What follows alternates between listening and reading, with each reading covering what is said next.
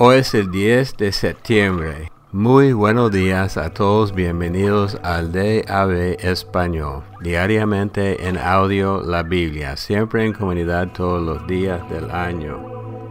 Yo me llamo Roberto y esta semana estamos leyendo de la palabra de Dios para todos. Hoy vamos a leer Isaías 6 y 7 y creo que todos saben, o si no, Isaías 6 es el llamamiento de Isaías cuando él vio la gloria de Dios y aceptó el llamado de Dios. En el año en que murió el rey Usías, vi al Señor sentado en un trono muy alto. Los bordes de su manto llenaban el templo. Sobre él se veían ángeles serafines, con seis alas cada uno con dos alas se cubrían el rostro, con otras dos se cubrían los pies, y con las otras dos volaban. Ellos se decían el uno al otro, Santo, Santo, Santo es el Señor Todopoderoso. Su gloria llena toda la tierra. El umbral de las puertas se estremecía debido al sonido de las voces y todo el templo se llenó de humo. Entonces yo exclamé, pobre de mí, ya me doy por muerto, porque mis labios son impuros. Vivo en medio de un pueblo de labios impuros, y sin embargo he visto al Rey, al Señor Todopoderoso. Entonces uno de los serafines voló hacia mí. Él tenía en su mano un carbón ardiente que había agarrado con unas tenazas de las brasas del altar Tocó mis labios con él y dijo, mira, esto ha tocado tus labios, sé limpia, tu culpa se perdona tu pecado. Y oí la voz del Señor que decía, ¿a quién enviaré? ¿Quién irá por nosotros? Entonces yo dije, aquí me tienes, envíame a mí. Dijo entonces, ve y dile a este pueblo, por más que oigan, no entenderán por más que miren no captarán. Cierra la mente de este pueblo, tápales los oídos, ciérrales los ojos.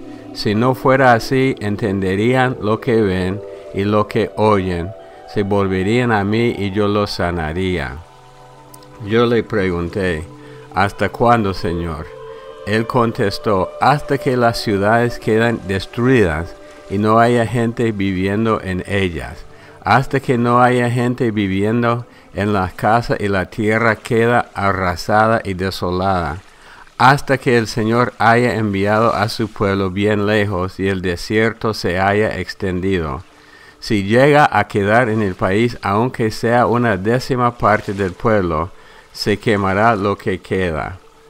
Pero de la misma manera, que queda un tocón cuando se tala el roble o la encina, así también ese tocón será la simiente santa que retoñará. Capítulo 7 Durante el reinado en Judá del rey Acaz, hijo de Jotán y nieto de Usías, los reyes Resín de Siria y Pecay, hijo de Ramalía de Israel, marcharon contra Jerusalén para atacarla pero no pudieron tomar la ciudad. La familia de David recibió el informe de que Siria se había aliado con Efraín, lo cual hizo que tanto Acaz como su pueblo se atemorizaran y temblaran de miedo, como los árboles de un bosque cuando los azota el viento.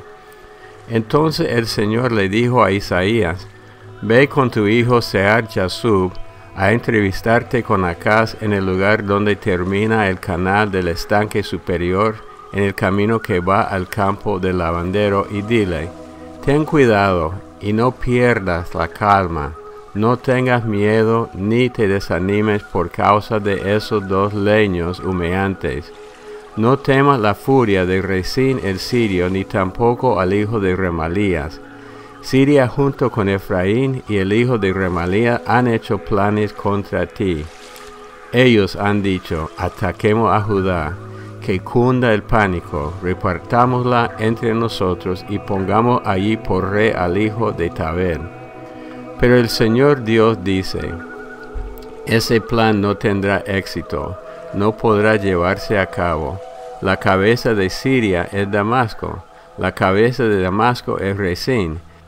Dentro de 65 años Efraín será destruido y dejará de ser una nación.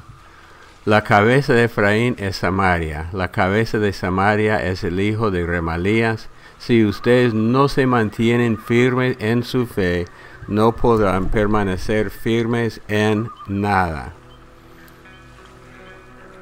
El Señor le dijo también a Acaz, pídele al Señor tu Dios una señal en lo profundo del lugar de los muertos o en las alturas de los cielos. Pero Acaz dijo, yo no le voy a pedir nada al Señor, no lo voy a poner a prueba. Entonces Isaías dijo, escuchen, los de la familia de David, ¿no les basta con agotar la paciencia de los seres humanos? Quieren ahora agotar también la paciencia de Dios, por tanto el Señor les dará una señal.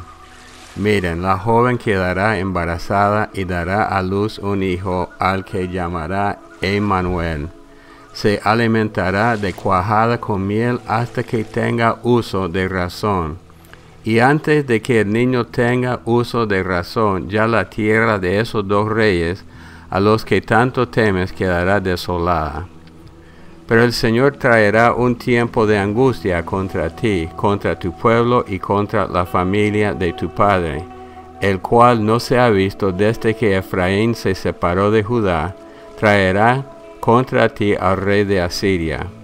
Ese día el Señor silbará llamando a la mosca que está en los ríos lejanos de Egipto, y a la abeja que está en territorio de Asiria Todas ellas vendrán y se instalarán en las quebradas profundas, en las hendiduras de las rocas, en todos los matorrales espinosos y en todos los sitios donde bebe el ganado.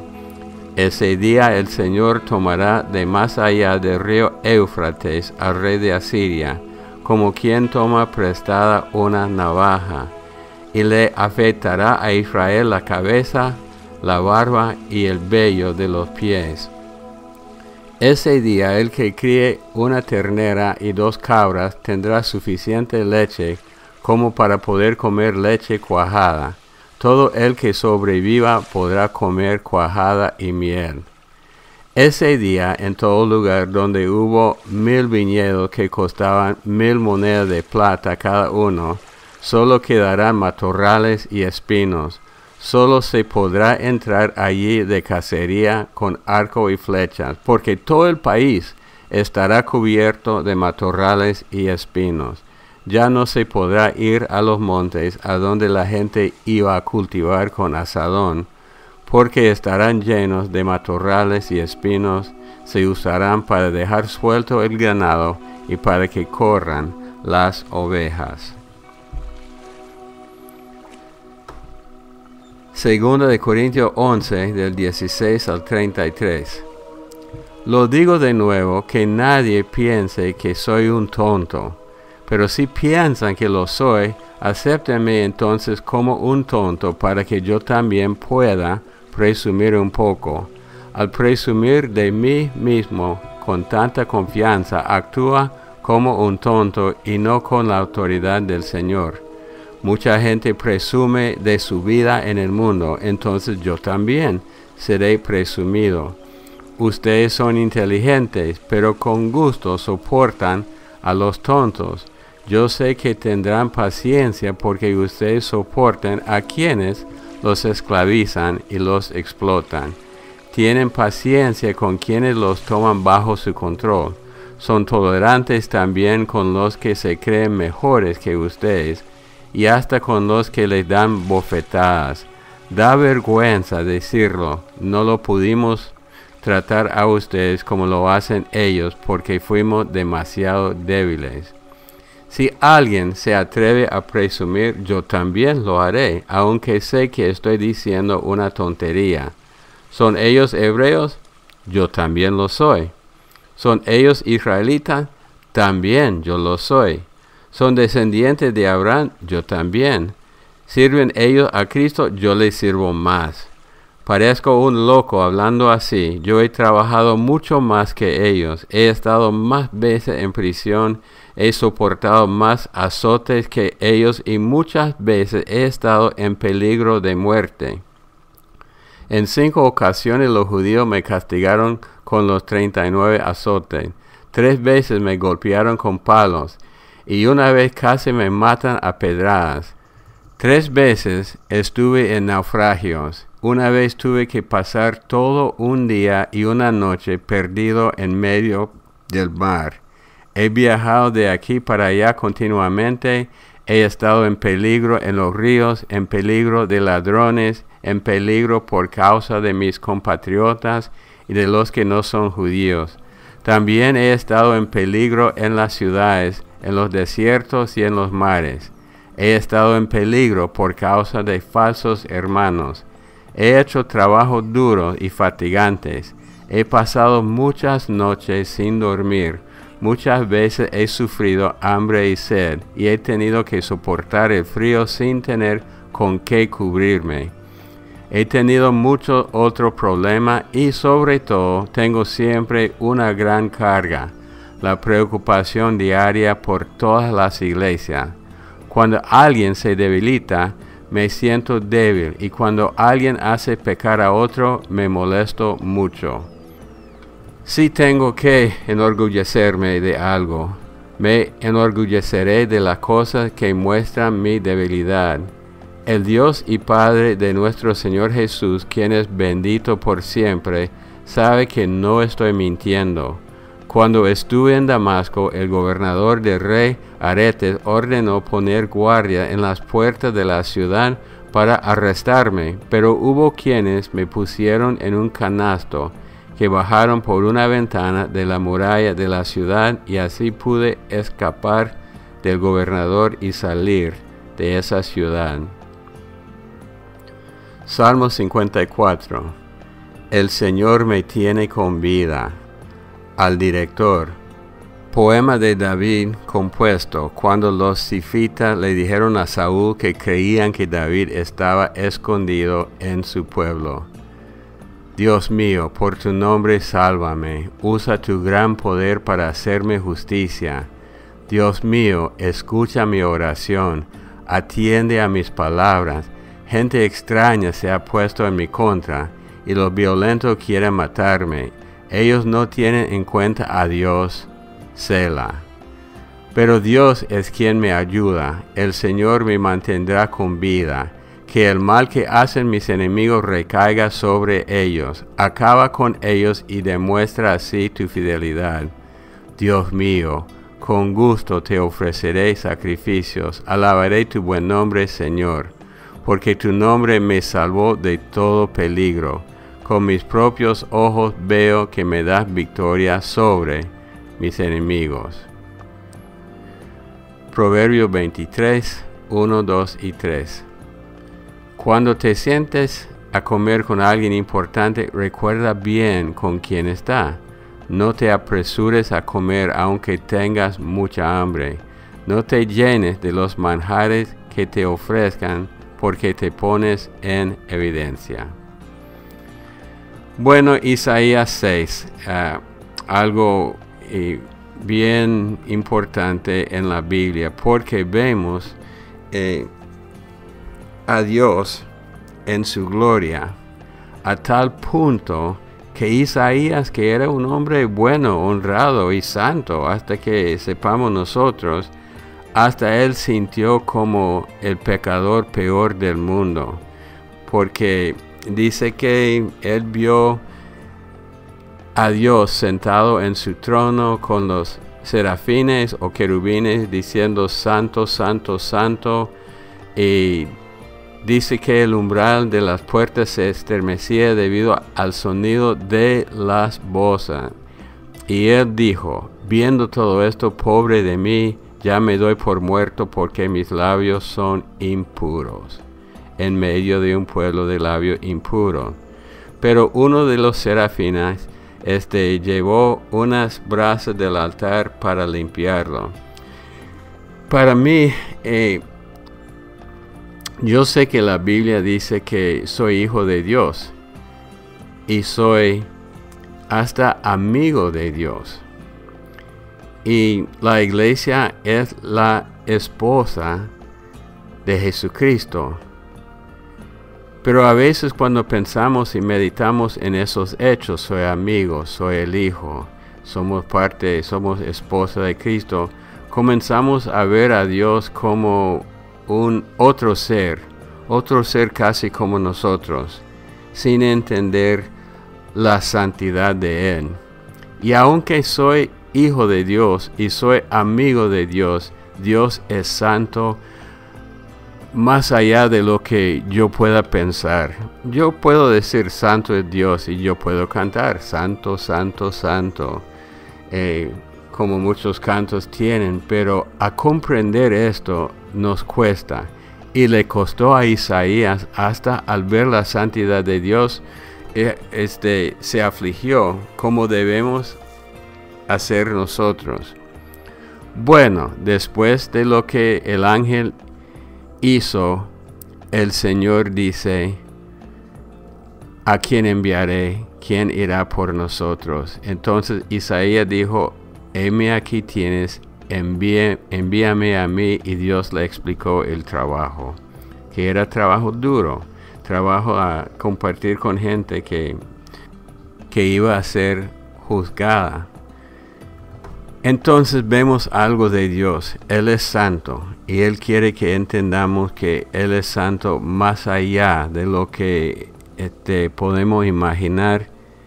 Sin embargo, siempre está buscando a seres humanos para cumplir su misión en la tierra. Entonces, cuando yo digo, heme aquí, o cuando ustedes dicen, heme aquí, o como pueblo decimos, enos aquí, envíanos a nosotros, no estamos violando la santidad de Dios, más bien estamos reconociendo su santidad, pero poniéndonos a la disposición de Él. Porque Isaías respondió según su impureza, pero Dios lo limpió y lo llamó para enviarlo. Así es con nosotros. Oremos, Padre Dios, en este día te damos muchas gracias. Gracias porque tú eres un Dios santo y ni podemos imaginar o tener idea de qué tan santo eres tú. Pero reconocemos tu santidad y reconocemos que toda la Biblia habla de tu santidad. Pero Señor, a la misma vez, queremos servirte a ti, el Dios Todopoderoso, y juntamente con el profeta Isaías decimos, heme aquí, úsame a mí, Señor, envíame a mí, en el nombre de Cristo Jesús. Amén. Qué capítulo más, eh, más impactante. Y Pablo en 2 Corintios cuando vemos todo lo que le, pasó en su vida, yo me doy cuenta que no, no he sufrido nada. Hay hermanos que sí han sufrido bastante, pero como Pablo, la mayoría de nosotros no. Entonces, dispuestos a seguir a Jesús hasta el final. Bueno, como siempre, este correo electrónico de nosotros de gmail.com y tenemos un canal de YouTube para escuchar las lecturas diarias de Ave Español. Siempre un privilegio para mí poder estar con ustedes todos los días. Los amamos mucho, que Dios los bendiga y hasta el día de mañana. Con todo el corazón.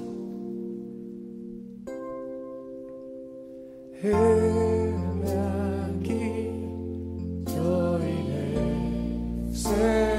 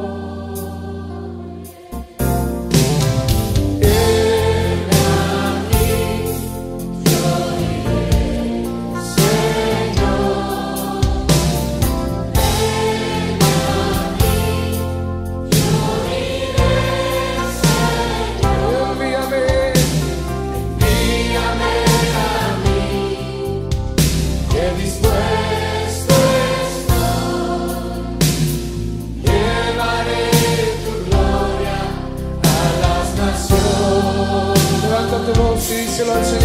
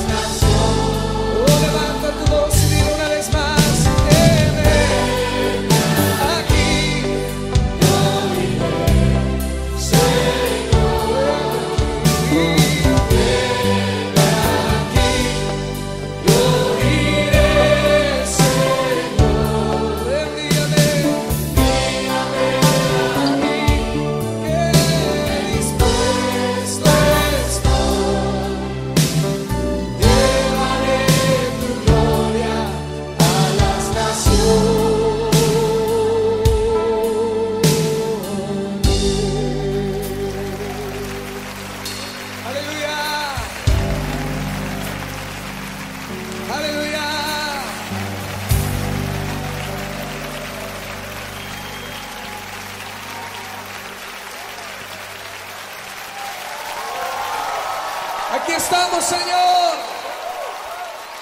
Nosotros iremos. Aleluya.